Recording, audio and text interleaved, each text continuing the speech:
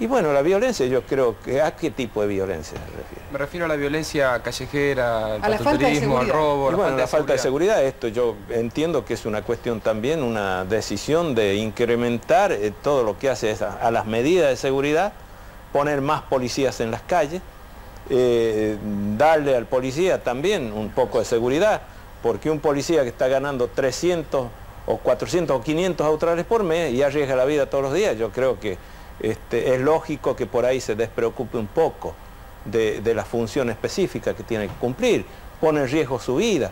Yo creo que son medidas que habría que tomar mm, eh, en forma urgente, en forma rápida, que nosotros si llegamos lo vamos a hacer, pero la violencia no es patrimonio tan solo de Argentina. ¿O ustedes creen que las patotas son patrimonios de aquí?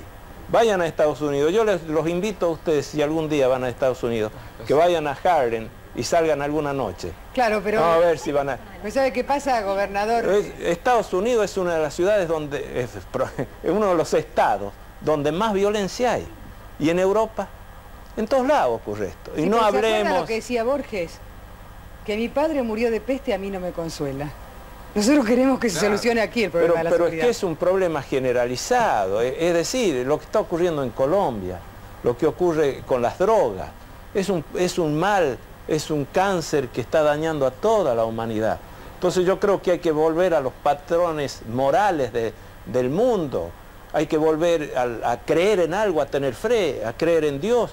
Los pueblos que van destruyendo sus creencias, sus formas de sentir y de pensar son pueblos que entran en este terreno porque no tienen fe, porque no creen en nada. Lo peor que le puede pasar a Argentina es dejar de creer.